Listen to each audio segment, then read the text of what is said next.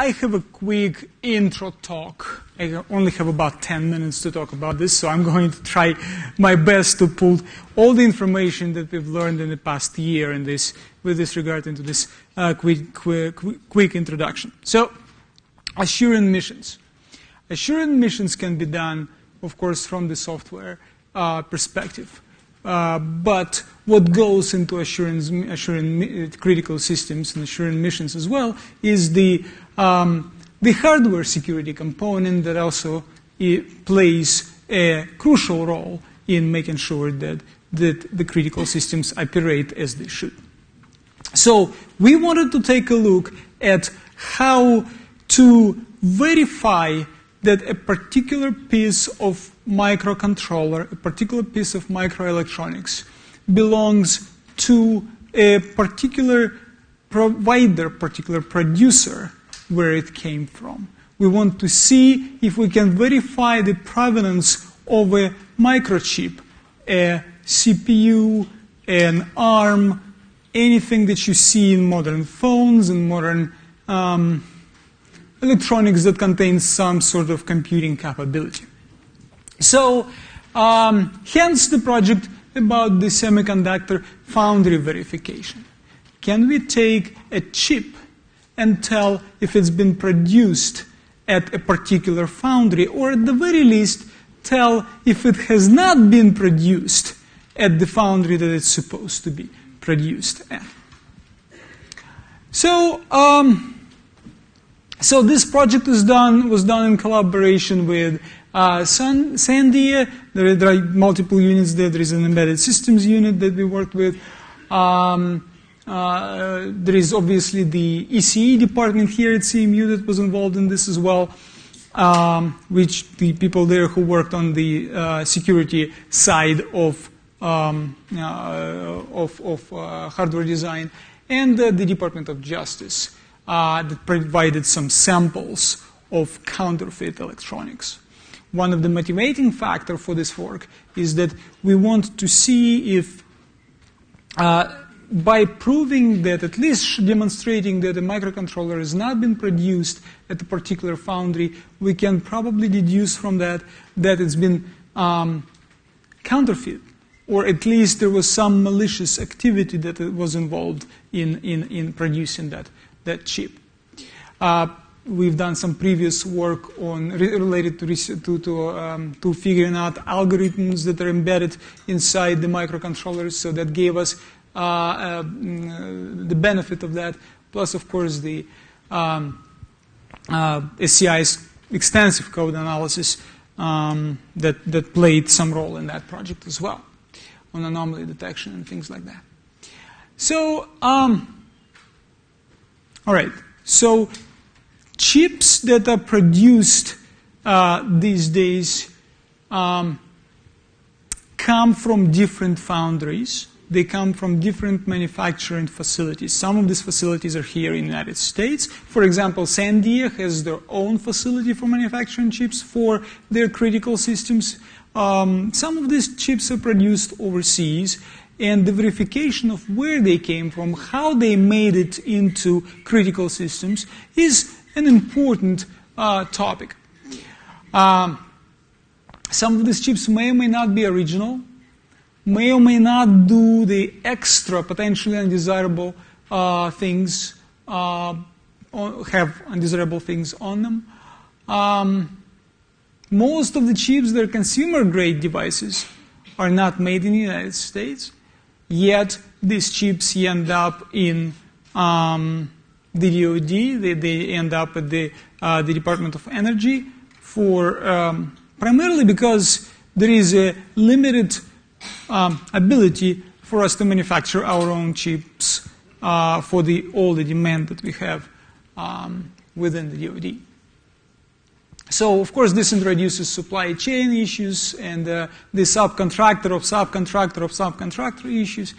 And um, um, to make things worse, it's from the surface, it's kind of difficult to tell whether or not a particular chip is actually a counterfeit chip if it's been um, properly manufactured or not. So let's take a look at what um, uh, what we did. So since we cannot tell this from the surface, we decided to see if we can take a chip apart, look inside a microcontroller, and see if we can tell that there are particular um, patterns that we can recognize that would identify a foundry where the chip came from. Okay, so um, so for this we took a, a few chips apart, delayered them.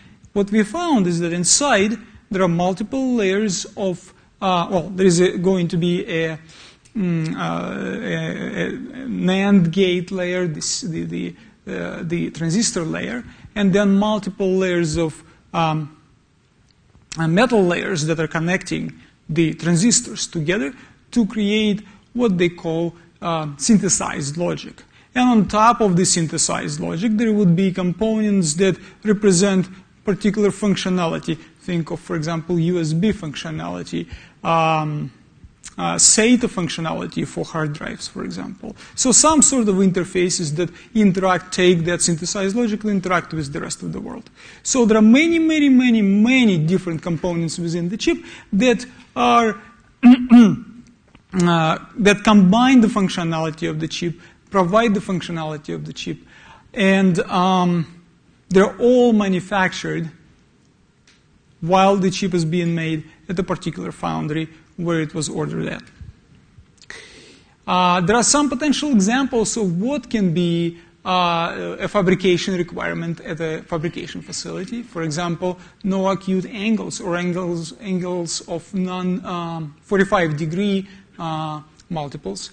Uh, the metal features would be a particular size. The metal layers would be either copper, copper or aluminum or something like this. So, failing some of these finding some of these rules would indicate that there is a potential issue with the supply chain. So let's take a look. Um, I'm going to skip over this. Um, and um, this gives you a little bit of the introduction to what we did. So we, we, we, uh, we took things apart using essentially the chemical um, and the mechanical etching. Uh, there is some plasma etching that is also involved in this. So one of the challenges was how do we take the chip apart? Once we take it, the chip apart, what do we see inside? Once we see what's inside, how do we see the patterns? How we identify the patterns that indicate uh, that this was produced at a particular foundry? And finally, once we see those patterns, can we successfully identify a foundry where it came from, or at least verify that that's been produced at a particular foundry as opposed to other foundries out there? Uh, let's take a look at some examples, some pictures here. So, so this is an example of what you would see, uh, one, one of the chips that we've uh, taken apart. Uh, the one on the left is the uh, pre-etching. You can still see wires on the sides connecting the pads out into the pins of the chip. You do not see the pins of the chip here, it's just the chip itself. And the wires are connecting the pads on the chip over to the pins on the, other, on the, on the outside of the packaging. The uh, picture on the right is um, obviously now the wires are gone, the pads are exposed, and for that matter, the top glass layer has been removed. What we've learned from this is that it turns out for this particular process, the glass layer on top, the insulating layer on top, has a particular thickness. It takes a while to get the chemicals through that thickness so we can get to the metal layer so we can actually measure the uh, type and the thickness of the metal layer inside.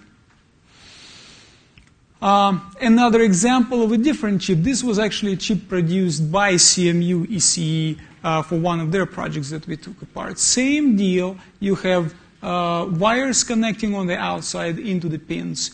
Um, and um, uh, the functionality within this is actually a uh, I believe this was their AES, one of the AES encryption implementations. Inside uh, the grid that you see in between, in the middle, is the metal layers interconnecting and um, enabling the synthesized logic to work. Uh, this was a little bit more of a destructive approach to this. We have now the glass removed and we have the top metal layer of that same chip removed, which, which uh, now exposes more of the functionality underneath. We learn from each of these etching mm, chemical etching processes what is further underneath each layer, how thick this layer, what are the components of a particular layer are. Uh, here an example. Here is an example of a counterfeit example. One of the chips we got from the DOJ. So, excuse me, the one on the left. So both of them appear to be Atmel chips. The one on the left from the outside is, the, is actually a legit chip that was made by Atmel. The one on the right is counterfeit. Other than some markings on the chip, there is no clear way of identifying what is counterfeit, what is not. So let's take a look inside. You can see that the chip um, on the left, so those same two chips being completely um, disassembled, the one on the left looks entirely different from the one on the right. Clear differences we can see here is that the one on the right is much more complex device. It is, um, it's got copper uh, for all of the metal layer uh, connections. The one on the, and, and there are many components that, uh, that are involved here. The synthesized logic is actually hiding down below in the lower part, and um, there is some memory in the middle there. But the one on the left, the counterfeit one, is all copper, and the technology is different. Many indicators that say that this is produced at a different foundry. This was a very simple case where you can tell from just looking at the picture, and that's the reason why I wanted to bring it up, that even without knowing too much, you can tell that obviously these are two uh, different chips. The one on the left is counterfeit. But we wanted to see if we could identify with, uh, this with um, uh, chips that are of similar type. So here you can see uh, features that you would be able to identify at different layers. So this is just the corner of one of the chips, a lower left corner of one of the chips. You can see the pads, you can see um, the logic, at different layers, different metals removed exposes you different logic. What's interesting here is that, for example, the thick metal wires that go on the side, those copper metal wires, have a particular thickness that is the requirement of the foundry. The pads, the distance between the pads, and more importantly, the thickness of each layer and the distance in metal, metal um, uh, middle uh, layer connections that is in the middle. Um, also, identifying features would be uh, the edges of the chip for different foundries contain different, uh, different thicknesses of those, uh, of those edges. Another example we've taken now the counterfeit chip that we were looking at and we removed we stripped all of the metal layers on the top to look what's underneath. And it turns out that underneath, the, the image is not the best under this, um, uh, this projector, but, but it can, they contain very basic building blocks there the squares, the circles. Um, uh, that, that, that, com- that, that comprise the, the logic of that simple chip. And then on the right, we see a much more complex example, um, uh, but with a similar um, used uh, a chip of manufactured with the similar technology where the metal uh, connectors are square, the vias are perfectly visible. All of this is measurable and is extracted as part of the pattern. I probably should move on much, much faster at this point as we're probably running out of time quite a bit. So, um, there are differences in fabrication that you can see on, um, on this example. Somewhat, there was some mechanical etching that occurred here, but um, these two chips were manufactured uh, by two similar technology, but manufactured by two different um, different uh, fabrication facilities. Um, at this particular way, we could see, in this particular case, we could see that this chip was manufactured by the same foundry, these two different chips manufactured by the same foundry. Giveaway here would be the thickness of, again, thickness of metal layers uh, interconnecting transistors at the top. Um, obviously, different foundries, same technology, but different foundries used on this. Uh, lower end chips, older chips. Uh, again, a zoom in of this, the vias, the metal layers, give away the sizes of those, the constraint that foundries give on those, give away the, uh, the, the, um, uh, the differences. To, so, to complete this, we've done um, we have a semi-automated way of detecting, extracting these features, detecting these features. And if we had signatures of multiple different foundries, which we don't have because we don't have access to all of the foundries out there, but if we had signature of, the of particular foundries, we would be able to use that to um, identify at the very least what foundry a particular chip would belong to based on the features that we extract features that are extracted are um, more or less automated, where that same chip, for example, is being processed by our software with the patterns highlighted in, a, in different colors in this, in this uh, picture on the right. And these patterns are then measured for their thicknesses, for their sizes, for distances between them, etc., to see uh, to see what they are so that they can then be matched against a pattern that's known for a particular foundry.